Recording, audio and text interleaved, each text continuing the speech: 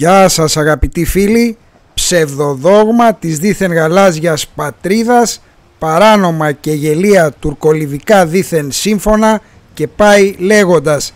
Εκείνοι όμως που εγγυώνται την εδαφική ακαιρεότητα και την ανεξαρτησία της πατρίδας ήταν, είναι και θα είναι πανίσχυροι και φυσικά δεν εξαιρείται το πολεμικό ναυτικό, η εχμή του δόρατος της ελληνικής αποτροπής. Αρχιπελαγικό κράτος η Ελλάδα από την αρχαιότητα κοιτίδα μας το Αιγαίο δεν είναι ανυπεράσπιστο. 13 φρεγάτες, 10 υποβρύχια 7 κανονιοφόροι οι πιο σύγχρονες ελληνικής κατασκευής υπάρχουν κι άλλες με πυράβλους έξωσετ και φυσικά οι ελληνικές κανονιοφόροι κλάσεως μαχητής και αυτά είναι μόνο η αιχμή του δόρατος από ένα πολεμικό ναυτικό το οποίο διαθέτει άνω των 100 πολεμικών πλοίων διαφόρων τύπων και για διάφορες αποστολές και εργασίες.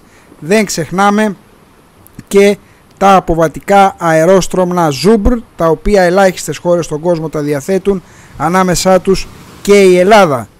Μάλιστα ό,τι και να λέει ο Ατήλας το τελευταίο διάστημα η Ελλάδα προέβη σε βολές με όλα τα όπλα και τα πυραυλικά συστήματα του πολεμικού ναυτικού ανάμεσά τους και οι πανίσχυροι αντιπλοϊκοί πύραυλοι χαρπούν βεληνικούς 130 χιλιόμετρων που φέρουν όλες οι φρεγάτες μας ε, και οι 9S και οι 4 κλάσεως ΜΕΚΟ.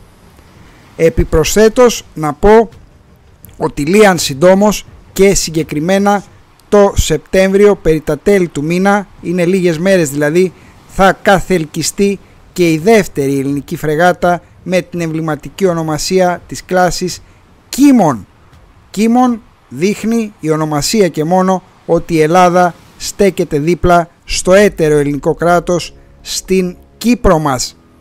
Έτσι τρεις φρεγάτες μπελαρά τα επόμενα δύο χρόνια θα είναι στη θάλασσα του Αιγαίου, της Κύπρου, της Ανατολικής Μεσογείου ως επικεφαλής τριών στολίσκων των μονάδων επιφανείας και των υποβρυχίων που βλέπετε με ό,τι αυτό συνεπάγεται για την περαιτέρω ενίσχυση του ελληνικού στόλου. Πολλά πρέπει ακόμα να γίνουν όπως ο εξυγχρονισμός των υφιστάμενων φρεγατών ΜΕΚΟ, η έλευση των κορβετών και τετάρτης φρεγάτας Μπελαρά με στρατηγικούς πυραύλους Σκαλπ Ναβάλ. Δεν θα σταματήσω να το λέω. Όμως, όπως βλέπετε στις οθόνες σας, η ναυτική αποτροπή της Ελλάδος παραμένει ισχυρότατη και κανένας επιβουλέας δεν μπορεί να επιβουλευθεί τις ελληνικές θάλασσες. Ας το βλέπουν, ας το ξέρουν αυτό και οι πολιτικοί μας και να δώσουν στο πολεμικό ναυτικό τα μέσα εκείνα που χρειάζεται ούτως ώστε να συνεχίσει να φέρει εις πέρας την αποστολή του ΕΣΑΗ. Αυτά προς το παρόν, αν σας άρεσε η εκπομπή κάντε like, εγγραφή στο κανάλι σας και κοινοποιήστε τη. Να είστε όλοι καλά, αγαπητοί φίλοι, γεια σας.